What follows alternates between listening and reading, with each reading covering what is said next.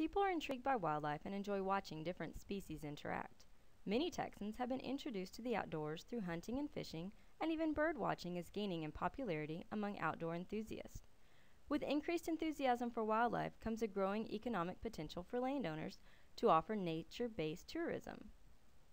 To attract wildlife and in turn people to their properties, land managers have worked to improve the habitat on their properties by using management techniques such as the installation of watering devices to provide a supplemental source of water for animals. Land managers are also harvesting rainwater to better distribute water on the landscape, thus increasing the amount of usable space for wildlife.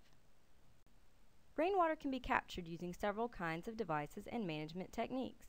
To make the best choice for a specific property, land managers should consider many factors, including the sources of water used by animals, the number and diversity of wildlife on the land, differences in mobility for various species, rainfall patterns in the area, and options available for harvesting, as well as storing and conveying rainwater. Animals obtain water in three basic forms. Free water, or drinking water, comes from surface water taken from ponds, creeks, water troughs, bird baths, and other similar sources. Metabolic water is derived from breaking foods down, or digestion, into their chemical components. Preformed water is bound within food itself. Examples include cactus, insects, and various plants. It is important to consider the factors that contribute to the attractiveness of a habitat for animals. Wildlife diversity. All animals play important roles in nature. Diversity is an indicator of ecosystem health. Therefore, the success of watering devices may be measured in part by the numbers and different kinds of animals using them. Home range size and animal mobility. When considering where and how many watering points to provide, think about how an animal might move over a square mile or 640 acres. Then break this acreage into smaller blocks. Remember that large animals can easily travel half to one mile to obtain water. Medium sized mammals would benefit from closer water point spacing, and smaller animals are better served by water points distributed even closer together. Wild turkey and mourning dove can travel farther than other birds. Conversely, the home ranges of bobwhite, Gambel's, and scale quail are much smaller, and water points placed closer together would be more suitable. This smaller density of water sources is also appropriate for most Texas songbirds. In some parts of Texas, rainwater is an important source of free water for wildlife. The supply of rainwater available depends on three key factors the amount of rainfall, the type of surface on which rainfall lands, and the size of the area that catches rainwater.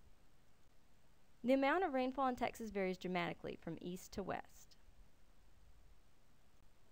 This table shows the long-term average annual rainfall amounts for various Texas cities. Note that annual and seasonal rainfall can deviate significantly from these long-term averages. We have highlighted the low, moderate, and high annual averages for this particular time period.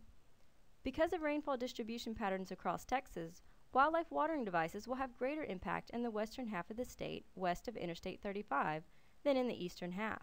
Rainfall across Texas varies by season as well. Supplemental water sources can provide a constant source of water for wildlife despite peaks and lows in annual rainfall. The amount of a particular surface that is available to capture rainfall is called the catchment area. Some of the rain in an area will soak into the ground and the rest will leave as runoff. The fraction of the total rainfall that will run off and be available to be harvested from a particular surface is known as the runoff coefficient. The amount of rainfall that runs off an area depends partly on the type of surface there. Note that non-porous surfaces will shed more water than porous surfaces. To calculate the rainwater supply in gallons for your area, use the following equation. Supply in gallons equals rainfall in inches times the catchment area in square feet times the conversion factor, which is 0.623. Changing trends in land ownership have contributed to a growing number of absentee landowners and small acreage properties in Texas. Land fragmentation has affected property tax valuations as well as the feasibility of conventional production agriculture. The Texas Constitution now includes wildlife management and its subcomponents as options for agricultural land use. The new tax law allows that land change from traditional agricultural use to wildlife use now carries the same property tax assessment. For land to qualify for wildlife valuation, it must have been entered previously into the agricultural appraisal process under the old section of the Texas Constitution. The land must be able to sustain breeding populations of indigenous, migrating, or wintering wild animals. Also, the property must have a wildlife management plan detailing strategic goals and practices aimed at improving wildlife habitat there. Providing supplemental supplies of water is one of seven components accepted in a wildlife management plan.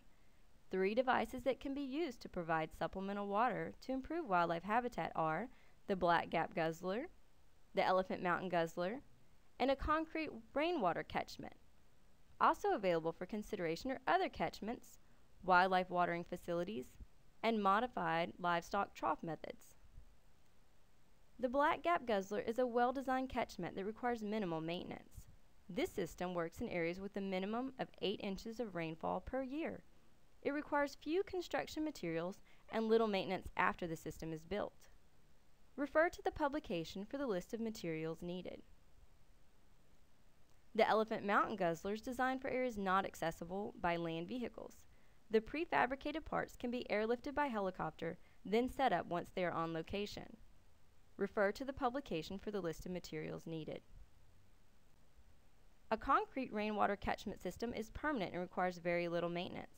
Figure 6 shows a top view as well as materials needed to build this system. Figure 7 shows a side view of this design. Figure 8 reveals a completed system. These drawings and diagrams provide additional rainfall harvesting, storage, and conveyance ideas for landowners.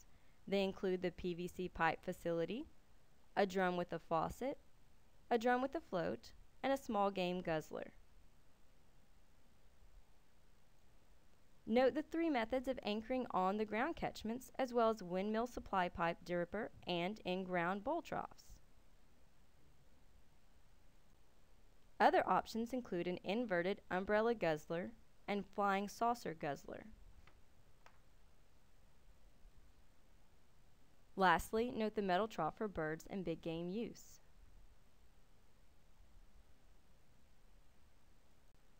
Consider these tips on providing water for wildlife. In areas with seasonal cold temperatures, be sure to build and protect your system properly. This can be accomplished by burying or insulating water pipes susceptible to freezing.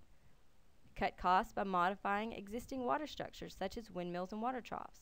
The concrete aprons around livestock water troughs can be modified to hold overflow water. A shallow groove, about 3 inches deep and 6 inches wide, in concrete will catch and retain overflow water.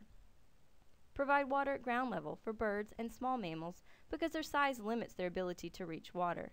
Seeps from stock tanks or dripping windmill pipes can provide additional ground level water for wildlife.